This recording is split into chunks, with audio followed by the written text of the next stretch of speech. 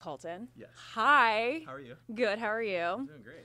Okay, so last week was like the most intense episode so far. It's so crazy that so much drama came out of vagueness. Yeah. We the he sh- the she said she said really. Were you surprised at how Caelynn acted in her interviews? Like the harsh language that was used? Did that turn you off at all? Uh, no, I think what you see is passion. I mean, when, like, I could see where they're frustrated as I was frustrated. I mean, nobody really knows exactly where this came from and who's saying what and who to believe. Just, um, I think the one thing that you see me struggle with is just it's polar opposites. Um, one said it's not said at all. One said this was definitely said, but nobody heard it. So Right. it's just it's more frustrations I think that you see coming out. Watching your season back, do you feel like there are some scenes that have changed your point of view on some different women?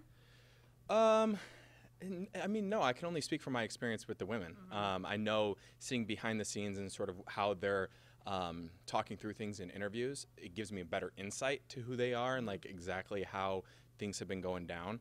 Um, but it hasn't changed it too much. You know, I like to just make my judgments based off of my interactions with them. Got it.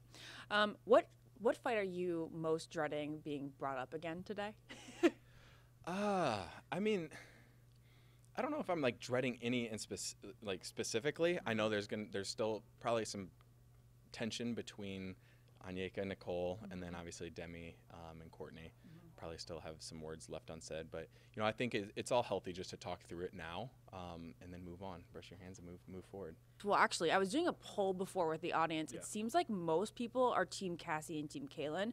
How do you think the girls uh, from your season are going to react from this past drama with her today up on the stand? Yeah, uh, I think today is actually going to be very interesting because there was so much she said, she said, and it came from vague comments mentioned to me through um, Demi, Sydney, um, and then obviously the big name that you hear over and over is Katie.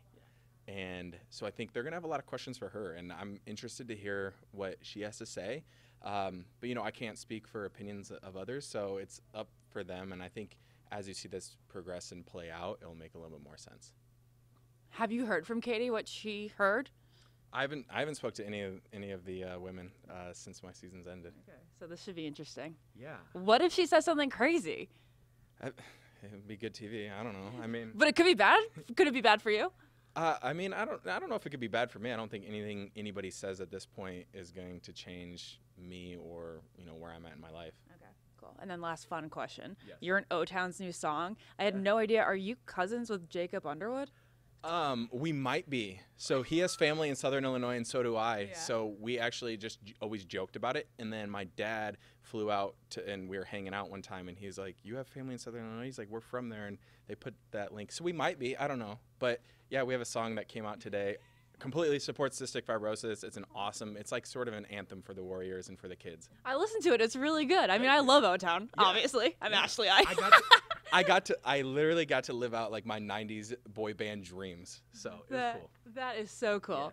All right. Oh, can I please ask you one more question? In the super tease, they show you holding a ring box that doesn't have a ring in it. Yeah.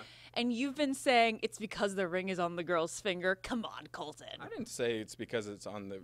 No, what didn't you tweet something along the Yeah, lines of my that? my tweet said rings belong on fingers, not in boxes. Okay. All right. Okay, that that's good enough for me. Thank you.